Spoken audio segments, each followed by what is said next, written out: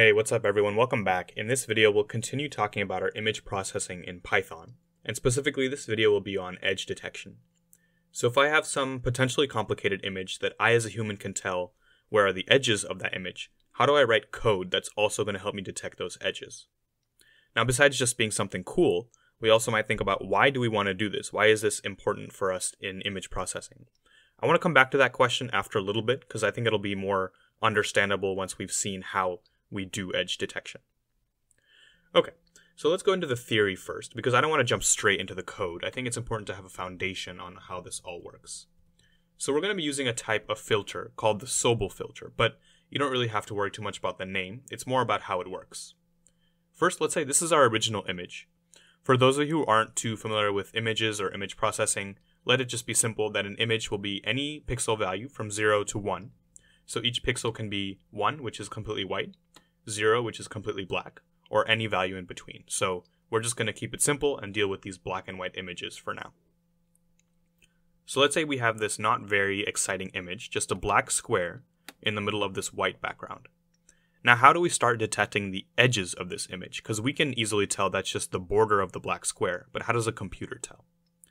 What we're going to do is traverse every single pixel of this image and create a little bounded box around that pixel. So to make it concrete, let's say we're talking about this one right here, this pixel, and we're asking about is this an edge of my image?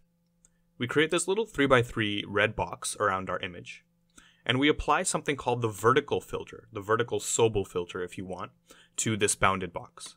And what I mean by apply is actually very simple. I just do the element-wise multiplication of each element of the image, the little bounded box, with each element of the filter. So for example, this 1 is in the top left position, this negative 1 is in the top left position of my filter.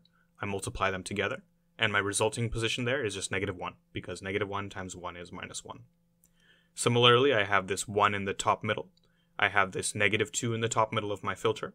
I multiply them and get negative 2.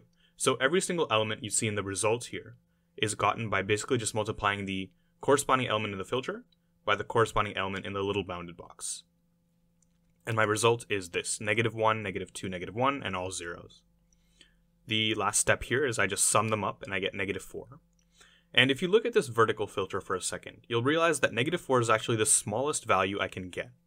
Why? Because we know the pixel has to be between 0 and 1.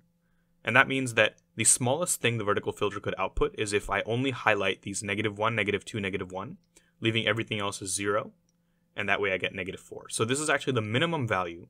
So we're going to eventually map that to 0. We'll see how we map it. It's really simple. So basically it's saying that this pixel in question got mapped to the value 0, which is black. So this is saying that this is a top vertical edge of my image. Now let's see the contrasting case. Let's see what happens when we consider this pixel down here, which is part of the bottom vertical edge. We create the same 3x3 little box. We apply the same vertical filter to this box, and we get 0, 0, 0, 0, 0, 0, 1, 2, 1 as the uh, final result when we multiply these two guys together and the sum of the pixels in here is 4, which is actually the biggest value you can get from the vertical filter. And so we map that to 1, which tells us that this is a bottom vertical edge of our image. So hopefully that makes a little bit of sense. We define a horizontal filter in very much the same way. The horizontal filter is just the vertical filter's transpose, so if you imagined flipping the vertical filter about its diagonal, that's how you get the horizontal filter, and it behaves in the same way, just helping us to detect these horizontal left and right edges instead. Now let's look at the code. I think that's going to help us with our understanding a little bit. We import a couple necessary modules. This is the image we'll be working with, a little bit more complicated than that than just the black square. We'll have a couple different horizontal and vertical left and right, top and bottom edges that we would like to detect.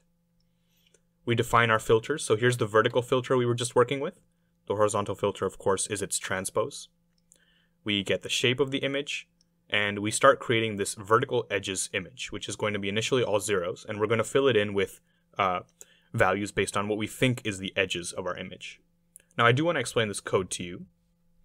We're going to loop over every single pixel in the image. The reason these bounds are a little bit truncated is because if you look on the very edge of an image, there's not enough room to make this 3x3 box, so we choose to just ignore the edges, the borders of the original image in this case. So for every pixel that we can create that box around, we go ahead and create that box, which is done by this command. This is basically just saying centered at the current row column I care about, create this little 3x3 box.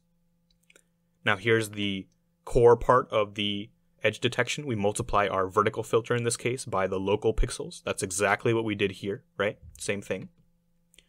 We take the sum of everything in that result, and this is the normalization. So realize that uh, the vertical or horizontal filter gives us values between negative 4 and 4. We want to map that range to 0 to 1. So we just add 4 and we divide by 8. So that gives us that 0 to 1 range that we need for images.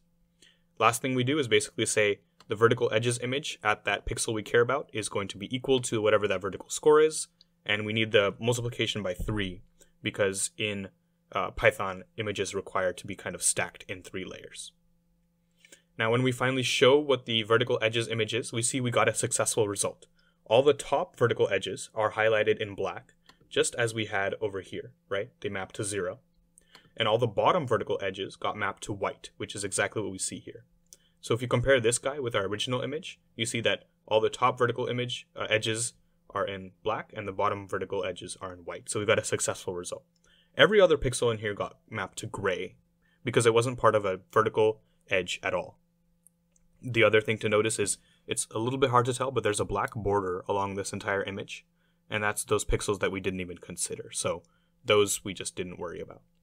So we see we successfully detected the vertical edges of an image using this vertical Sobel filter. It's pretty cool, really. Now I'm not going to go into the details with the horizontal filter because it's the same discussion, but the result is we get the same thing. We just get the left horizontal edges highlighted in black, the right horizontal edges highlighted in white, and every other pixel in the image didn't contribute or wasn't part of any horizontal edge, and therefore it gets mapped to gray. Okay, so what about if I want to apply both? What if I want both the horizontal and vertical edges? It's just going to be a slight change. I'm still looping over all the pixels in the image that I can create the box for. I get the vertical score just as I did before. I get also the horizontal score, except this time I map them to the negative 1 to 1 range. And then I just do this simple operation, which is uh, square the vertical score, add that to the square of the horizontal score, and take the square root of everything. So you can think of this as some kind of averaging operation, which is going to give me both vertical and horizontal edges. And the result here is that I get the vertical and horizontal edges of the image highlighted in white. All right, now I want to look at what happens if we do it on a slightly more complicated real world image, right? So let's say I have this mouse, so I have mouse.jpg.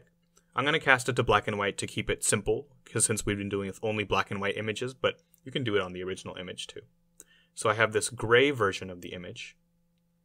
Now I do the same exact code. This code is the same. It's not different at all. It's the same exact code for the um, vertical and horizontal together filter that I was using up here. If I do that, I get this image, which is really cool. As complicated as this image were, there was lots of different shades of gray in here, there was whites and there's blacks. This was able to do a pretty good job in not a very long amount of time of getting me the basic um, edges of my image. And notice there's no clear cut like horizontal and vertical here. There's rounded edges here. Um, there, not everything is following a straight line, but it was still able to basically get me the edges of my image. Now, to close the video, I want to talk about again going back to the initial question of why would I even want to do this besides just being something cool I can do? Well, it's going to come back down to data storage. So if I look at this original image, there's a lot of different nuances I need to store, right? There's different shades of gray here. I need to store all that information if I want to recreate the image exactly. But a lot of times in image processing, we don't need to store the exact version of the image. We just care about the basic shape of the image. That also means we only care about maybe the edges of the image. Notice here in the edges of the image, everything is basically black and white, right? We can map it to black and white to basically retain the edges of the image. So having only black and white, let's say I only store the location of the white pixels in this image, and the black pixels are assumed to be anything that wasn't mapped to white. I can basically compress the image. I can store it in a much less amount of data if I'm short on data or something, or if I have millions of these images to store versus if I had to store the entire image. So we see that edge detection can be used as an image compression technique that can make your whole system more efficient in cases where you don't need to maintain all the integrity of the image. Okay, so that's why we care about edge detection. And this is how you do very, very basic edge detection using the Sobel filter, the theory of which we went over. So if you guys have any questions at all, please leave them in the comments below. I hope you learned something today, and please like and subscribe for more videos just like this. See you next time.